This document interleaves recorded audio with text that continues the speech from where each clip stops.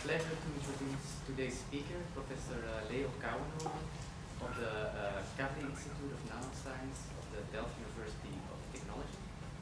Uh, Professor Kouwenhoven has been at Delft since he started his master studies in 1988. He promoted to PhD cum laude in 1992, and he's been a full professor at Delft uh, since 1999, where he leads the quantum transport group.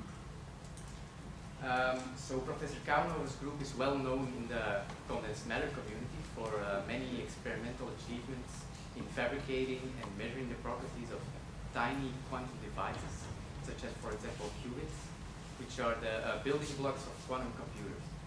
And for this research, he uh, received dozens of awards and honors, uh, perhaps most notably the Spinoza Award in 2007, which is the most important uh, Dutch scientific honor. And uh, besides the fundamental uh, science, he's also the founding director of the QuTech Advanced Research Center for Quantum Technologies, which was founded at uh, Delft campus in uh, 2013. And the QuTech project's main goal is to create a uh, first working prototype of a quantum computer in six years with the combined efforts of leading scientists and um, the high-tech industry. So this QuTech innovation um, was jump-started by recent breakthroughs, uh, which reached climax in 2012 when its group published uh, the results of a series of experiments in science which showed for the first time signatures of uh, exotic quasi-particles known as Majorana fermions in a, in a very complicated device which was proposed by, by theorists two years earlier. And uh, for its, uh, its discovery, he, he, gained a lot of uh, attention also from a wider audience. And he made a, a noteworthy appearance in the Dutch media where he uh, explained his uh, discovery on a popular talk show using uh, Duplo bricks to kind of create his device. And uh, okay, so what these Majorana fermions are and how they relate to uh, quantum computers is the subject of uh, today's talk, the quest for Majorana particles.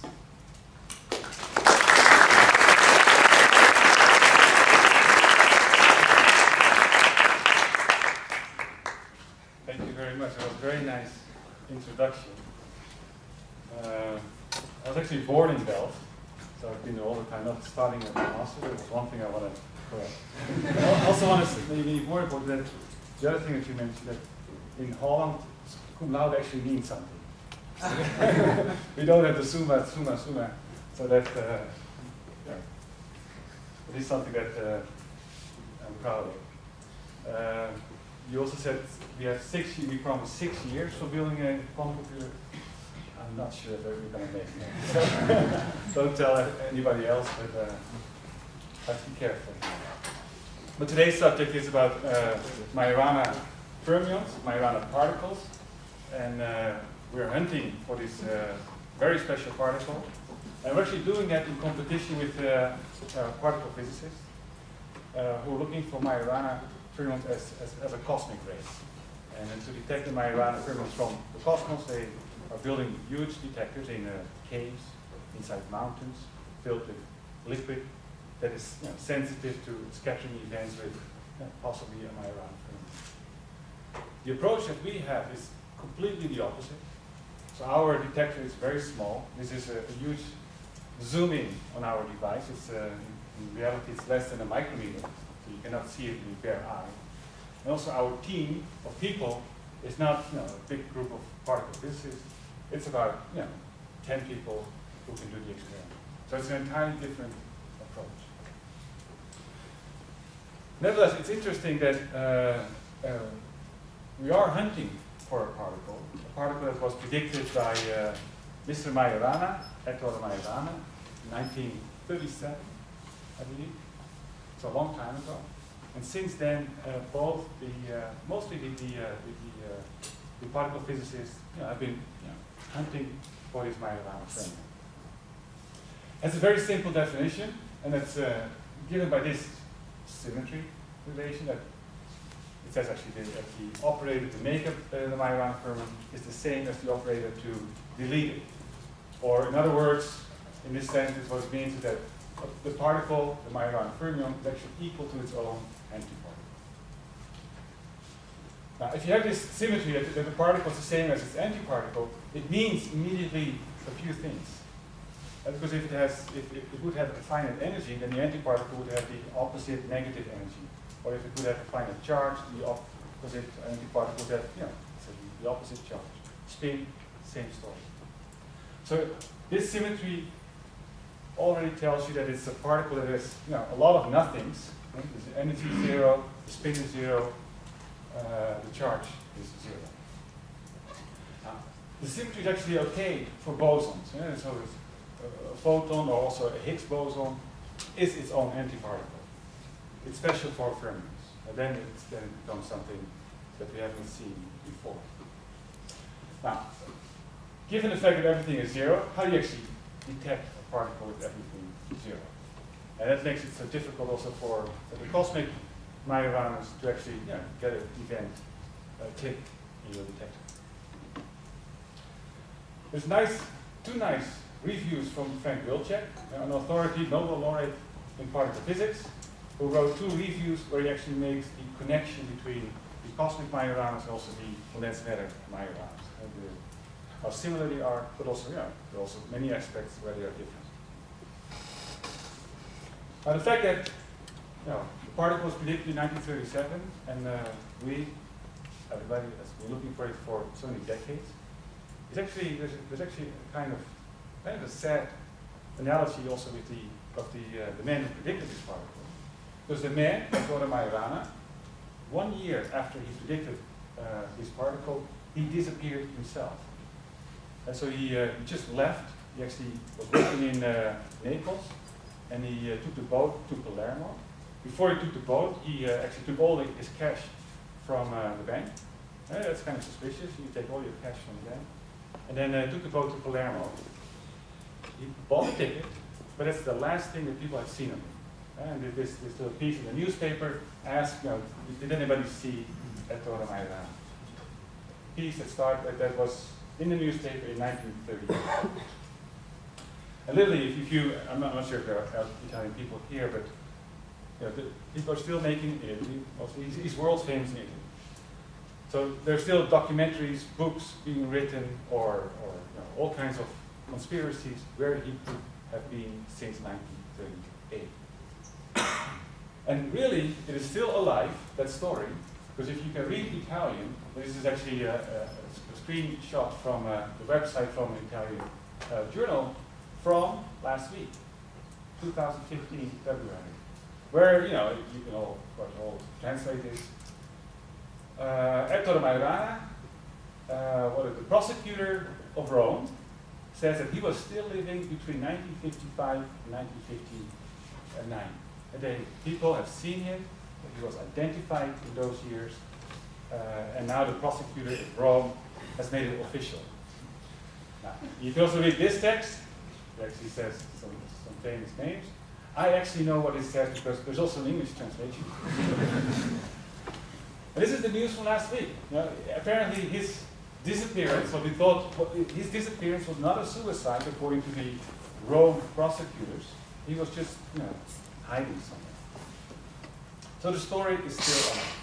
And at the end of this presentation, I actually also have some news on about the man Majorana. This is last week's news. We have some you know, even more recent news about Ettore Majorana himself. But physics, everyone has his particle. Uh, what do we know about particles?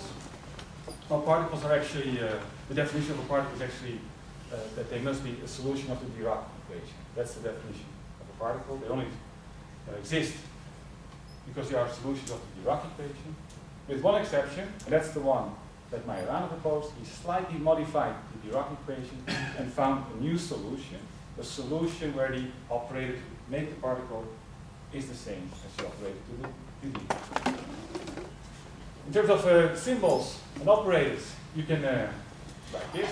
Uh, that, uh, actually, if you have this C dagger, it means that you have an empty state and you have this operator acting on the empty state, then you fill it with one fermion.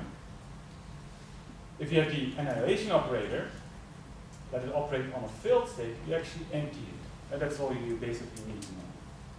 And you know that quantum mechanics has uh, solutions which are complex numbers, and that makes it so strange. So you can write those also as operators as a, as a complex number. There's a real and imaginary part. And you know, this, this operator for creating, for instance, let's take an electron as the example for fermions. This is the operator to make an electron, this is one to, to annihilate or create a hole. Now not doing anything special, just rewriting these two little equations, you can express the gamma in terms of the fermion operators, or the gamma is also this gamma 2 in terms of these fermion operators. And it's this operator, gamma 1, and also this operator, gamma 2, that are our Majorans. If you check, you take, if you take the complex conjugate, then you see it's actually equal to its you know, self-adjoint, as they say. Both for gamma 1 and gamma 2. So it's just rewriting the normal operators for making fermions, and then expressing them in a, in, a, in a new way, you get the Majorans. And if you look at this, this gamma, there's a factor of one half in front, but loosely speaking, a Majoran is, you know, is half an electron. So what is so special? I mean, if, if it's just rewriting uh, a complex number, what is special about it? Well, it's not special at all. It's very trivial, unless you can do something special to it. So suppose that you have you know, one fermion, like an electron, and you can break, it's an elementary particle, so you cannot do it, but imagine that you can break it in two pieces and bring the two pieces apart. And for instance, if the, this one piece has, uh, electron also has, a, you know, that electron also has an internal momentum, the spin. If you can break it in two pieces where the up spin goes here and the down spin goes to the other side. That would be very interesting because a spin flip, usually on a single electron, is very easy because you know that single electron can flip you know, just by turning its magnetic moment. But if you separate the spin up and the spin down states, it becomes very difficult but because scattering or flipping its spin requires as well you know, a long travel, a long jump over distance. So if you can do something like that, you have something special. If you can break the particle into pieces, put them far away, then they have become a, uh, uh, uh, a new particle, we call it a quasi-particle, and we actually do it in solid state. And what you require is some kind of topological properties, in this case, topological rotation. Now, there are some keywords here, and these keywords I like to give you some examples or explain a little bit what these what the meaning is for condensed matter physics uh, of topological properties, quasi-particles, and also what it means to be an emerging state arising from collective behavior. And you can also read about it. There's some reviews. There's also a very nice one in Physics Today from 2012, written by uh, one of the early people, theorists in the field, Nick Read. Now, first of all, topological properties. We have some examples of topological systems. Uh, the, easy, the simplest classical one is the Möbius ring. Uh, you just make a twist in it. And if you deform the, the ring, the number of twists in the ring doesn't change. It's, it's protected in the twist number is protected against small deformations. You really have to cut open the ring and you know, reattach it to change the twist number. Now we actually know of a similar effect in the, what's called the quantum Hall effect, okay, where you have a two-dimensional system, magnetic field, then if you measure its electrical properties, what you get is, is a graph like this. This is the, the resistance, this is actually the function of magnetic field. It's very complicated stuff here, but if you look at this upper, this is the Hall trace resistance, and you see these flat regions, these are plateaus. And the beauty of the quantum Hall effect is that these values at these plateaus are quantized. They're quantized at exact values of h over e squared, Planck's constant divided by the electron charge squared. And exact, at least with accuracy what people have measured today, is about 10 digits. So this is a quantum effect. It is the resistance is quantized at units of you know, Planck's constant. There's nothing, you know, what can be more quantum than Planck's constant? And the beauty is that it doesn't matter how big the sample is. It doesn't have to be rectangular, it, it can be any shape, any size. It's independent of size and shape. And that's what makes the system topological. You can make it two times bigger, but this Hall resistance quantized at this h of e squared stays the same.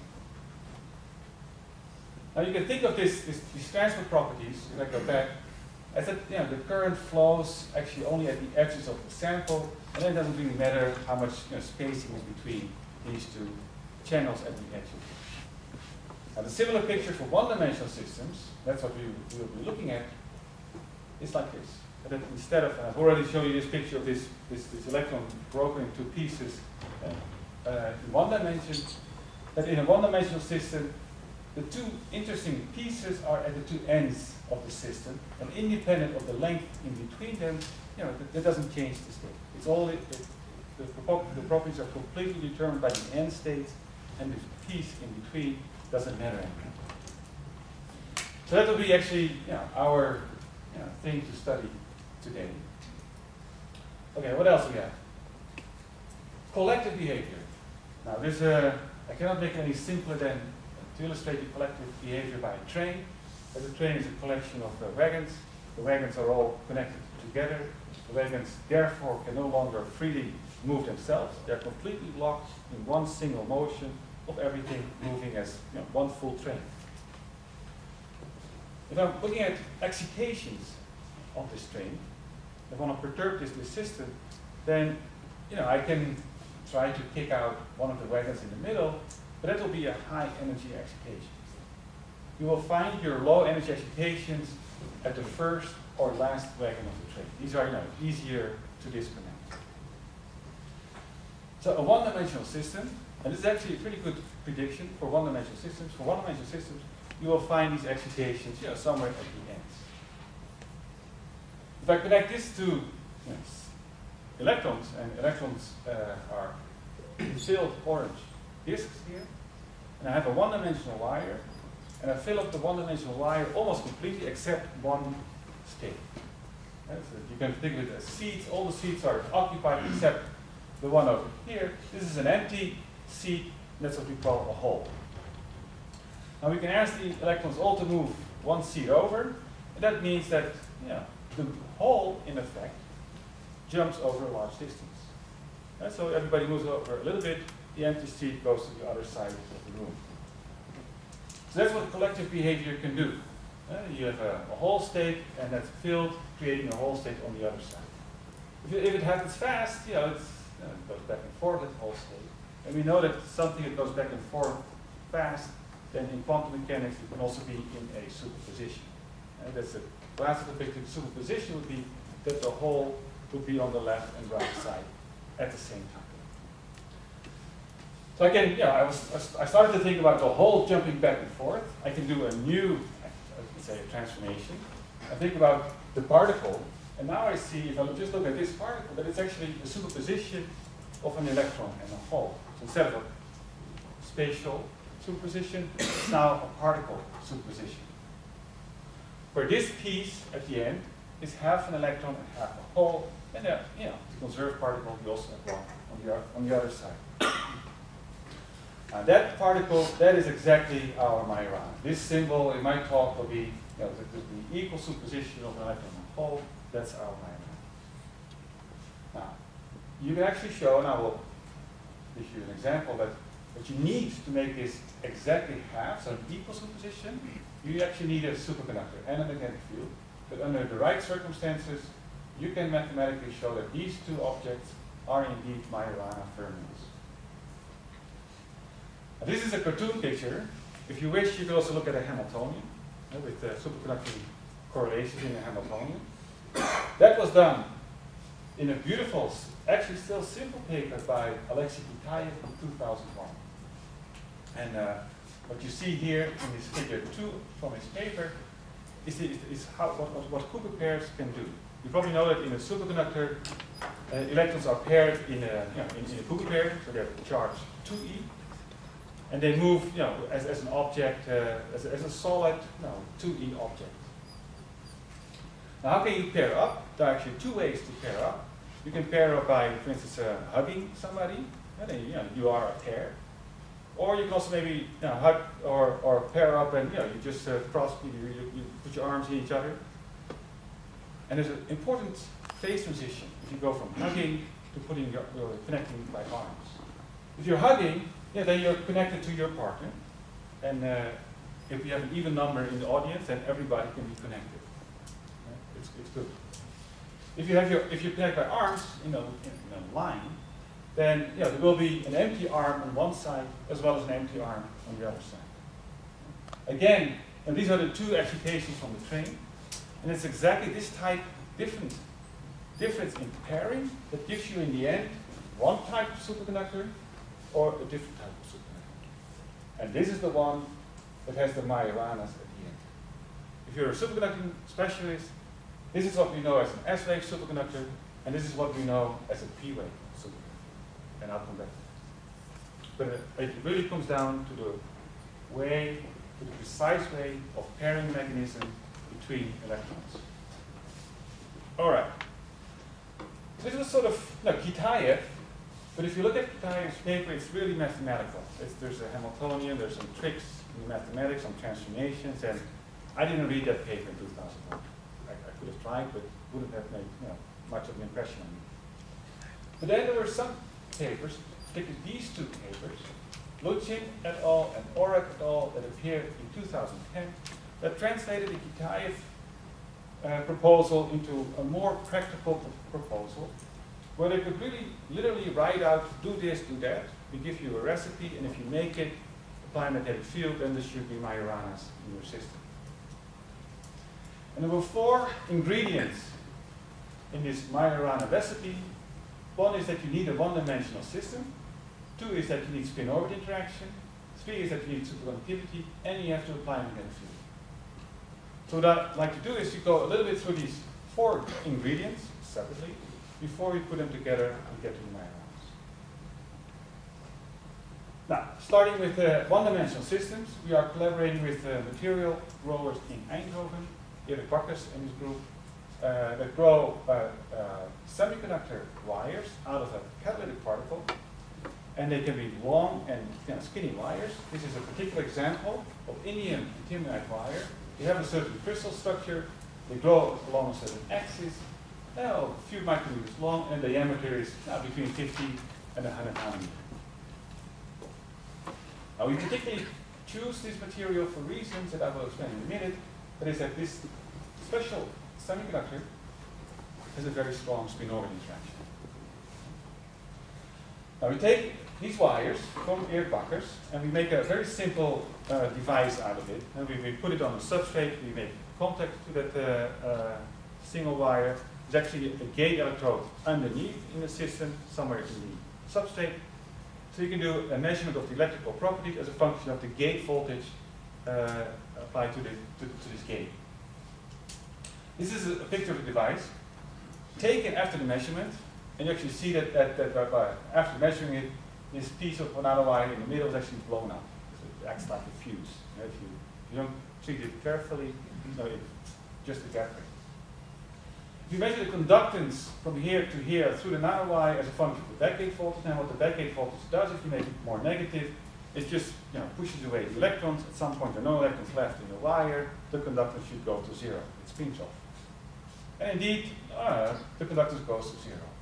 Interestingly, you see that there's a little plateau, very similar to the quantum Hall effect, but now it's zero magnetic field at a particular value. And we've taken you know, these measurements at you know, 10 different devices or so. And you know, all of these devices, they all have their own characteristic, their own personality, but you see a plateau at this value you know, in all these devices. And there's also you know, signatures of a second or a third plateau. What it means is that what we can read off from these measurements is that the transport actually in this system is, is, is quantum. Uh, there, are, there are quantized states in, in this nanowire, one-dimensional subbands, and the conductance through a one-dimensional subband is actually 2e squared over h. This is still in current, but if you translate it to conductance, you get exactly the value of 2e squared over h. And you see that all these devices give you the same uh, value. I'm actually showing here and there some data on, with, on white slides that means it's very fresh data. This data was taken, you know, last, you know, a few weeks ago or so, not published, not polished. Uh, it's, it's really fresh. So if I show data on a white slide, it's fresh. And if it's uh, you know, colored and uh, massaged and you know, may, may look uh, good, then it's Belleville's channel. But this is, this is actually a very nice result. Okay, next is the uh, uh, spin-orbit interaction. And spin-orbit interaction is uh, that, you know, simply that the electron has a spin, electron has an orbit or a motion, it can move. And in materials with spin-orbit interaction, then when it moves, the spin also rotates. Right? There's no spin-orbit interaction, uh, but with spin-orbit interaction, it just moves. You can also say that the spin or the orbit by itself are no longer good quantum numbers. There's some mixture of spin and orbit that becomes a good quantum number, Kramer state. So what is this spin-orbit interaction in this system? What does it do? Well, if I, have, if, I, if I have a one-dimensional system, it can only propagate in one direction the electron along, let's say, k direction, positive momentum, or negative momentum, this is positive, this is negative momentum. It moves as a free electron, so it's a quadratic dispersion, energy versus k. And if you know nothing special, then the spin up and spin down states are degenerate at zero magnetic field. This spin orbit interaction, what happens is actually that the spin and the orbits become coupled, such that the up spin is coupled to the motion in, let's say, with a positive sign, which moves this parabola to the left, and a downspin with a negative sign, which moves the parabola to the, to the right. Shifting the two parabolas, there's now a single point only where they are an overlap. But if I apply a magnetic field that has under a particular angle, then these two states start to mix up, and you create a gap right at that point. So now I only have two points here. If I, if I, for instance, if I, if I fill my system with electrons such that the Fermi energy is right in this gap here, that means that at the Fermi energy, all the electrons that move to the right, with positive momentum, have spin down. And all the electrons that move to the left have spin up. And so spin and momentum is not completely correlated. they move this way, they move the other way, and they separate. Now this is something that, uh, uh, this, this effect of the, the, the subbands and how strong is the spin-orbit interaction in indium antimonide, we've measured in some experiments, actually not so long ago, this is from 2014, doing weak localization and anti-weak localization measurements. But the upshot is that at the, at the, end of the day, we measure a value of about one milli-electron volt for the spin-orbit interaction. That translates to a distance of about well, 34, uh, 50 nanometers for the electrons to travel to change the spin by pi. And that's the, uh, this number, 1 millivolt, corresponds to 50 nanometer in spin-orbit length. So that's, that's a number, if you, you know, compare it to temperature, that's several Kelvin, maybe 4 Kelvin of temperature. All right, so next is superconductivity. What can we say about superconductivity? Well, first of all is that in a superconductor, I already said that electrons are paired and in a Cooper pairs, but there's an underlying symmetry in a superconductor that you know, is obeyed by all superconductors. And that symmetry is, is, is, given here is that if you create a particle, an electron-like particle at a positive energy, then there must also be a state at negative energy, at exactly the same energy. And there is an opposite state with a hole character at the opposite energy of the electron state. So this is like, you know, particle hole, in this case, uh, electron hole symmetry relation. So you can say, okay, that's, that's a great starting point because we want this at zero energy.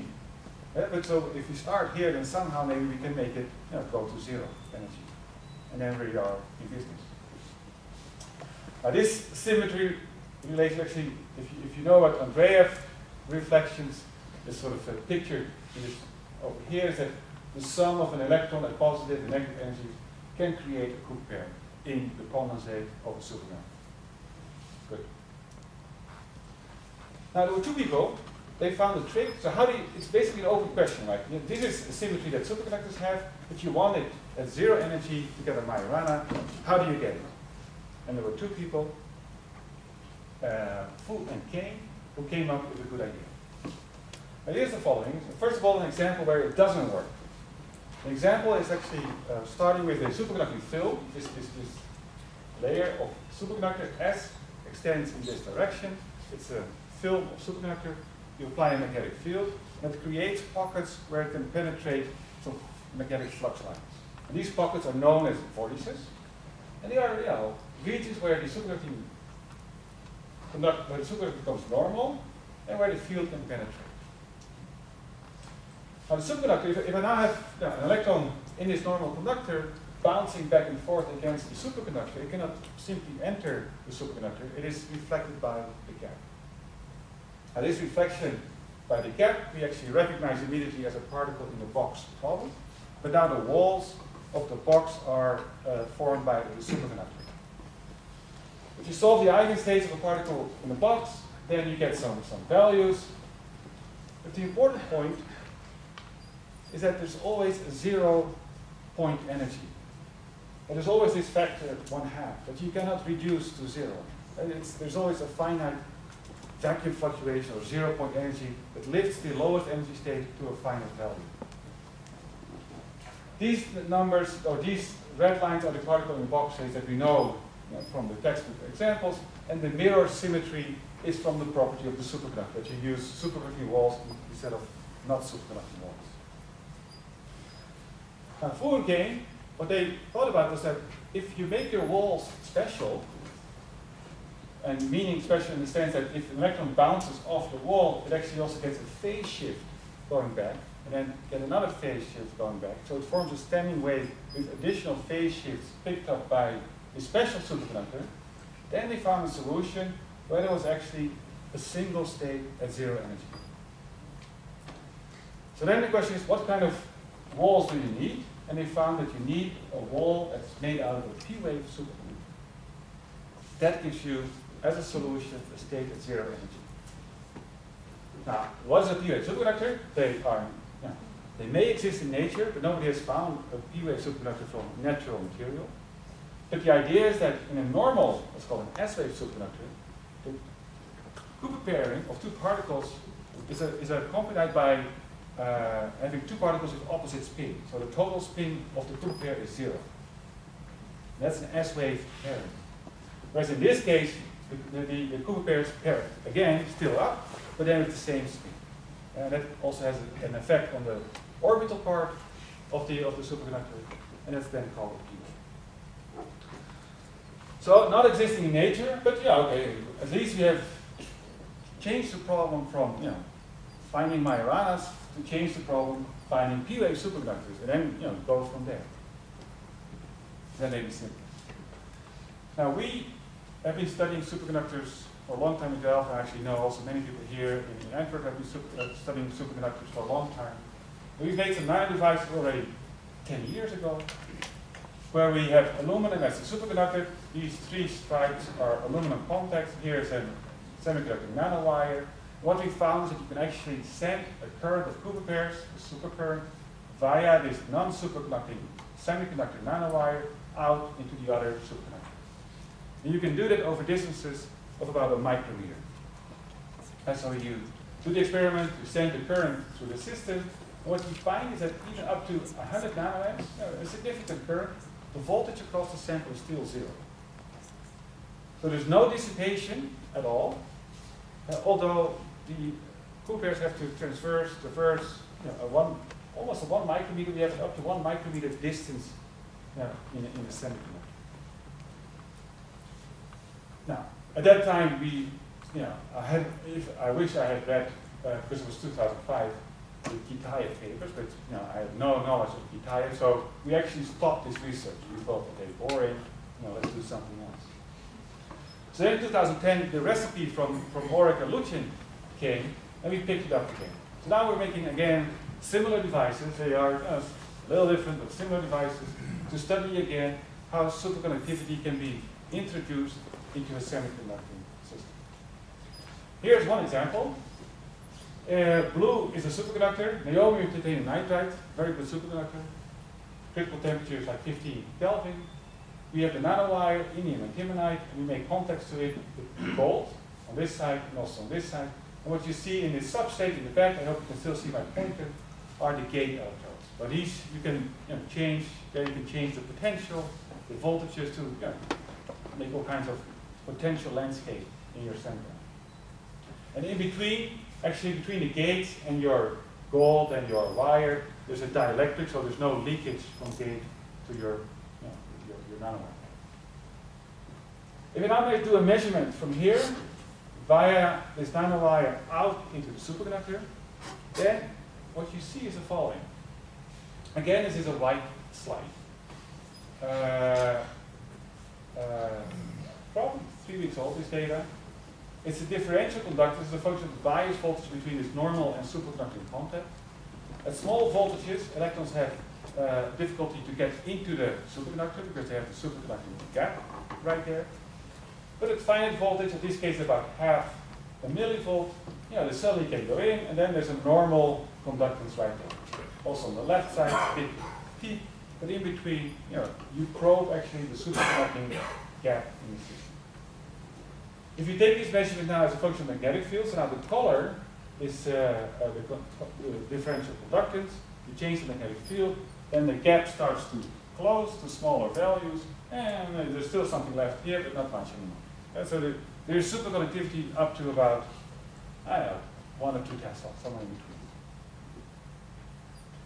There's another measurement, because this measurement with this gap, that, that you only have when there's a tunnel barrier in between the gold and the niobium superconductor. It really has to be an insulator between the normal and the nanowire in the superconductor. If you take away the insulator, let me just briefly give you some, some uh, without maybe explaining too much, some data that if you take away the tunnel barrier by changing a gate voltage, so here we have tunnel barrier, but here we have a lot of conductance, then there's this very interesting region of red. If I go to larger voltages along this vertical axis, me see there is a, a better, more visible. This one has no knobs. Uh, yeah? No, no, no. Experimentalist. I'm getting curious.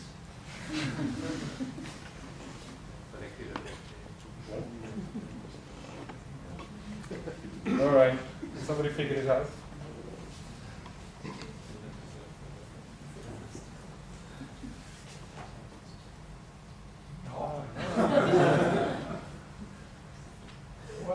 Tell me when it works. It works. Huh? Oh yeah? So it was really. That's, I have a solution. Somebody broke the knob. Yeah, but that's not something new, right? You figured it out, but it's not really usable. Uh, I'll try to use my hands. Uh, and this is actually an interesting region because I know what the color scale is, and I give you a line cut through here. First, I give you a line cut through here, and then I give you a line cut through here. These are traces that we, uh, you know, you guys much better see what's going on. Again, it's the conductivity differential conductance in, in, units of E squared over H. And if I go into a normal state where superconductivity no longer plays a role at larger voltage, then I see again a nice quantized plateau in, in the system. If I turn on superconductivity, thank you. On superconductivity, then you see the black curve that at the location of the plateau, there's more conductivity. That is an enhancement. And this is what people know as the Andreev reflections through a point-on-point contact, where instead of having these charges, single electron charges going through this point-on-point contact, so there's two E charges, and that enhances the conductance. In the ideal case, by a factor of two, should go up here, and here it's you know somewhere in, in between. And this is actually another indication that the wire is clean, and the semiconductor nanowire is very clean because there's a quantized plateau. But also the superconductivity is very well developed, because this tells you that the transmission of Andreev states into the superconductor has a very high probability. You can actually deduce a probability of 90%. Okay, so what do we have? We put all these things together. Then we have a nanowire, we have a, a gate electrode right there. And I think about the energy landscape and the uh, field states. Then I have my tunnel barrier, I induce a tunnel barrier here. The states are all filled up to the Fermi energy. In this section of the nanowire up to here. Here at the end of the nanowire, the potential force shoots to infinity, there it stops. If I make a connection to a superconductor, then the superconductor sends two pairs into the nanowire, which opens up also a superconducting gap. So now the landscape is like this. At the Fermi energy, you have a superconducting gap. But at the end of the system, of course, this gap goes to zero. There's, there are no electrons, so you, know, you cannot open up the gap also on this end. And we know that this end we again have this particle in a box situation where electrons can you know, bounce back and forth, you know, make a uh, standing wave or, or, or an eigenstate at some fixed energy. At a normal, let's say zero magnetic field. We can now also apply a magnetic field under the right angle, defined by this canonical interaction, then this superconductivity is no longer an S-wave superconductor, but becomes a P-wave superconductor. The magnetic field makes sure that instead of having this pairing, you get components with this pairing as well. And this pairing is a P-wave superconductor, we call it a topological gap, now has n states of Majoranas at the beginning and at the end. You cannot have anything else but with zero energy solution from Fu and Kane right there at the Fermi. And these are our Majorana states. All right, this is what we want to measure. This is how the, the, the, sample box actually looks like.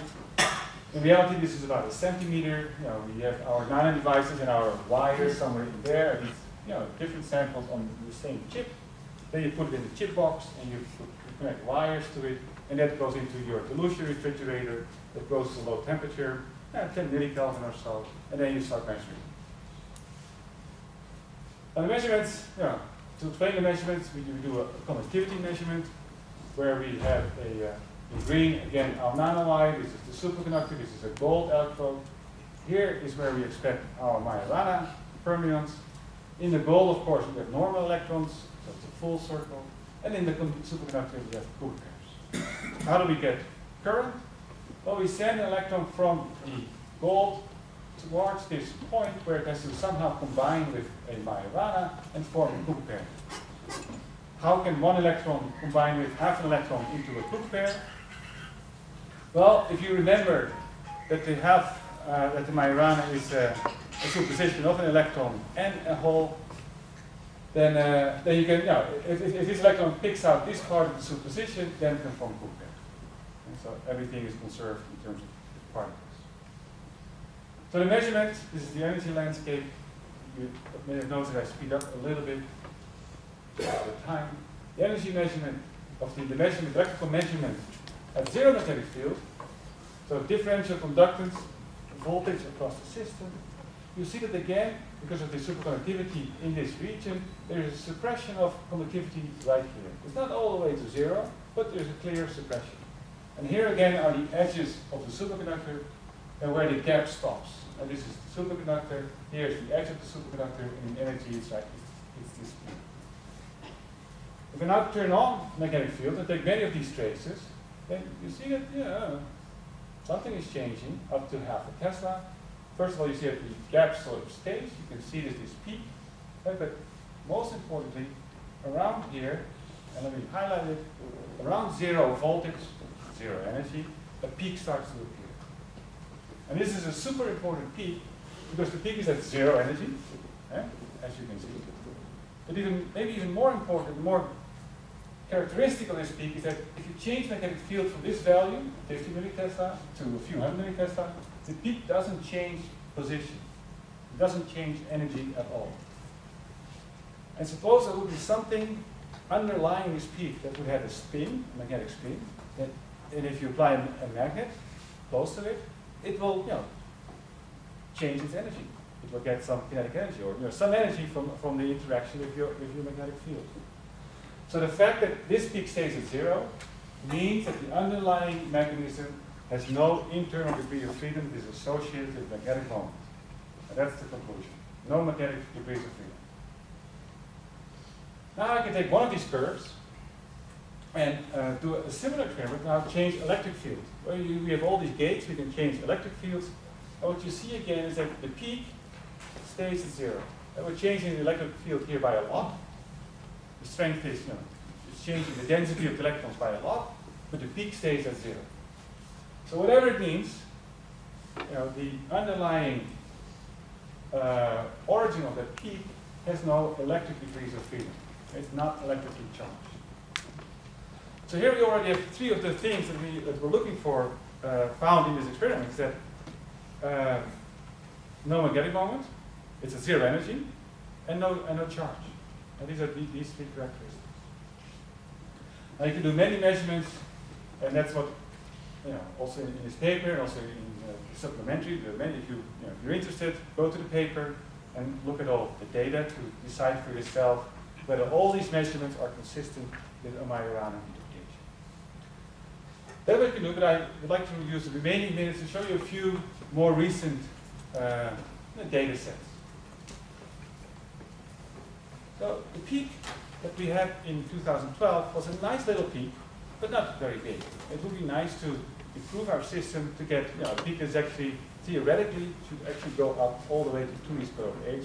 And it means that compared to what I showed you, it will be, you know, five, six times, maybe even 10 times bigger. Now that, that means work, right? Because the peak is not, uh, doesn't reach the ideal limit because of some uh, imperfections in your sample, which you then have to go after, look for it, do the right diagnosis, and improve your materials and your fabrication. Uh, we've, we've been lucky to have some, you know, we could go to a company with uh, FEI, with a very good microscope, uh, and what we found is that if you take a cut through the sample, you can actually still see the nanowire with hexagonal structure at the bottom. I hope you can still see it there. But the top is rounded off. And the top is rounded off because, you know, before we put up the uh, superconductor, we clean it a little bit with etching, and that makes the top round. And this rounding of the semiconductor you know, decreases the quality of the induced superconductivity. So we've been working hard, and uh, there has been a very nice result from our collaborators and friends in Copenhagen to make the connection between the superconductor and the semiconductor perfect. They have had a huge success by reaching the limit of epitaxial or atomically precise connection between the superconductor and the semiconductor. If you look at all these dots, these, are, these dots are atoms, and you see that the pattern of dots on this side and the pattern of dots on that side are correlated. There's an angle here, but you can see that you know, there's a matching of these two crystal structures. And this gives you, it turns out, a very beautiful superconducting gap inside the sample. To show you yeah, some, some just some, know, some quick scans, scans of data if you improve the sample. It's all you know, in color code, so I hope you if you've never seen it before, it's probably very difficult to understand what you're seeing, but enjoy the red, white, blue color. It's a uh, conductivity, the, the IDV is a function of magnetic field, and here's the bias voltage. At zero magnetic field, there are just two peaks, which are these, you know, these Andreev bound states know, between uh, the induced superconductivity and the tunnel barrier. If you change the magnetic field, they come together, then go to zero. This is the point where the Majorana starts to appear at zero magnetic field, and at five magnetic field with a zero bias voltage. And if you look closely, there's some structure.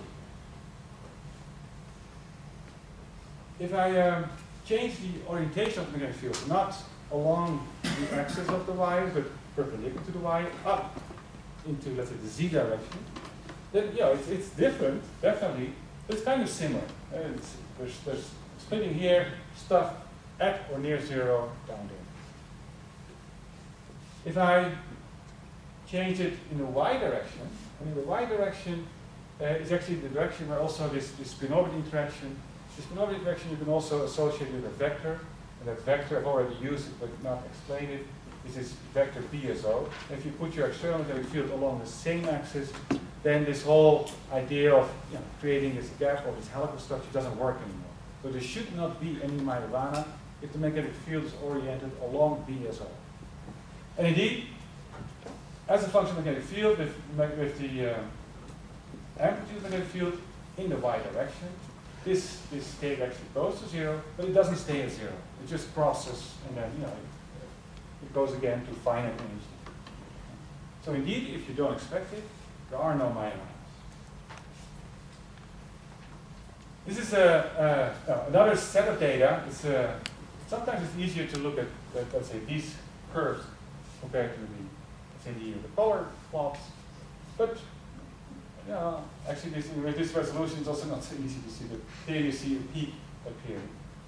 Uh, if you, out of this zoo of peaks, which are applying to the field, we pick a nice curve, you see that indeed by improving these materials and interfaces, the peak is now a lot bigger than we had before in 2012. And this is now two or three times bigger than the background in the normal state it really exceeds it, whereas before it was an inside back, a small piece. That's a significant This thing about the angles, that it shouldn't be there in a certain directions of magnetic field, but it should be there in other directions, you can explicitly test by rotating the magnetic field. So if you have your nanowire in this direction, and I change the magnetic field uh, in a plane xz, xz that is, that is uh, let me see, xz that is out of plane, uh, that's in this plane. xz is in this plane, whereas the BSO points in this direction. So you always, if your magnetic field perpendicular to the BSO vector. And indeed, what you see for all angles from 0 to 2 pi, you see the 0 bias peak, sometimes a small splitting, always there. If I do it in the other plane, so now I do it in this plane, I sometimes hit the, the, uh, the value for uh, the same direction as BSO, then I only see the two discrete points. And so you see that there's a huge and distinct difference between the directions, between the direction of field, what you mentioned. And this is a very significant and characteristic uh, property of these Majoranas in this system, according to this recipe from uh, Lutchyn and So what do we have? And we follow the recipe. We've not, you know, we've, we've avoided doing anything creative or smart. I mean, we, we, we followed the recipe. We have the four ingredients. If you put them together in the right amount, you get the zero bias peaks. And at the moment, you know, there's, there's no alternative uh, explanation for these peaks as a Majorana, uh, than a Majorana explanation. For instance, it's important to know that if you take one of these ingredients out, yeah, for instance, the, spin-orbit interaction, if you align the field along that axis, you effectively take out the spin-orbit interaction, then you know it's gone. So it's really the combination of those ingredients that gives you the, uh, the uh, emerging uh. All right. I'm looking at the time, and um, what I'm skipping is uh, how you can actually use these Majoranas for quantum But I promise it will take a long time. I can, you know, it's 10 years. It will take me 10 years, so I can, I can come back in nine But I promise to say something about the man. Uh, because we, uh, there was this man Ettore Majorana. We now know that he was still living in the 50s. But what we did when we published, uh, uh, or when we submitted this, this paper to Science, we also um, submitted a uh, suggestion for the cover. And so some, one of the students made a nice cover. I actually like this cover much more, with different versions, with the real device with nice colors. Uh, but one student actually yeah, had a creative mood. and then, you know, we put little blocks there, you know, it looks, I don't know, kind of crazy. But you know, the art director of science obviously liked it. now this art director of science missed a thing, because what she missed was actually there was a hidden uh, uh, you know, I call it a hidden you know, signature of Majorana himself. The title of the paper was Signatures of Majorana Fermions, but the cover actually had a hidden signature of himself. So um, you didn't see it. But if you look closely, and of course, where should you look for Majorana? At the end of the wire, of course. And if you zoom in, you actually do see it. There is Majorana, clearly visible in, in 2012 and that's how it looked a long time ago. So with this tribute to Ettore Majorana, I would like to thank you for your attention on this day Friday afternoon. Thank you.